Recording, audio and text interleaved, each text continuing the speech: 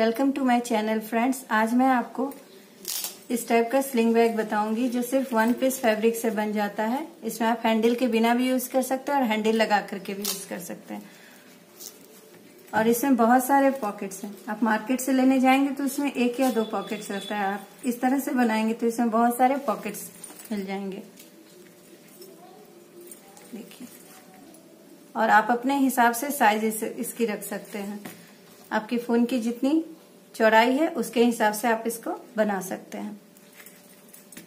लिए मैंने cotton fabric लिया है। इसकी चौड़ाई रखी है मैंने साढ़े छब्बीस इंच और इसकी यहाँ से यहाँ तक लंबाई है सात इंच। यहाँ से यहाँ मैंने ग्यारह इंच दोनों साइड से लिया है और ऊपर भी ग्यारह इंच लिया है और यहाँ से यहाँ पाँच इंच लिया है। ऐसा दो पीस लिया है। एक में मैंने कैनवास अटैच कर दिया। आप इसके कैनवास के बिना भी बना सकते हैं। इसके हैंडल के लिए मैंने इस टाइप का बकल दोनों साइड लगा दिया है। हैंडल की लंबाई है छत्तीस इंच। और इस टाइप का भी मैंने बकल लगाया है दोनों साइड में हैंडल में लगाने के लिए। ये एक इंच इधर, एक इंच इधर, दो इंच देते हुए इस तरह से आपको बना लेना है। देखिए फ्रेंड्स, ऊपर से मैंने हाफ़ इंच गुलाई कर दी है दोनों में, लाइनिंग वाले में भी और मेन फैब्रिक में भी। इसे उल्टा करके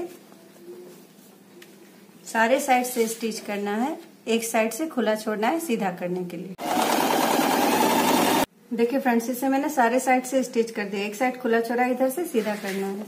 देखिए फ्रेंड्स मैंने इसे सीधा करके टॉप स्टिच दे दिया है। मैं इसमें वेलक्रो लगा रही हूँ। आप चाहे तो बटन लगा सकते हैं। दो इंच चौड़ा मैंने वेलक्रो यूज़ किया है। एक यहाँ लगाना है। यहाँ से यहाँ एक इंच छोड़ते हुए और एक यहाँ लगाना है। बिल्कुल नीचे। यहाँ से यहाँ एक इंच छोड़ते हुए। देखिए फ्रेंड्स, मैंने एक साइड वेलक्रो लगाया अब इसे अटैच कैसे करना है वो मैं बताती हूँ। पहले इसे इधर कोने में इस तरह पकड़ते हुए, इसे इस तरह फोल्ड करना है, उसके बाद इसके ऊपर इस तरह रखते हुए फोल्ड करना है। फिर दूसरे पार्ट को भी इसी तरह रखते हुए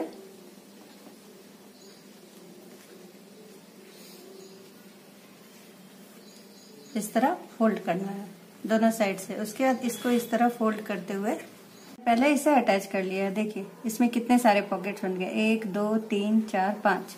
अब इसको इस तरह ऐसे फोल्ड करते हुए आपको दोनों साइड से इसे लगाते हुए स्टिच करना है। उसके बाद आपको यहाँ वेलक्रो को अटैच कर देना है। देखिए फ्रेंड्स मैंने इसे सारे साइड से स्टिच कर दिया है। इस, इसमें आप हैंडल के बिना भी यूज़ कर सकते हैं हैंडल लगा करके भी यूज़ कर सकते हैं। इस तरह से आप हैंडल लगा करके भी यूज़ कर सकते हैं। वीडियो अच्छी लगी तो लाइक कीजिएगा शेयर कीजिएगा चैनल को सब्सक्राइब कीजिएगा। नेक्स्ट वीडियो में फिर मिलूँगी नए आइडिया के साथ तब तक के लिए बाय।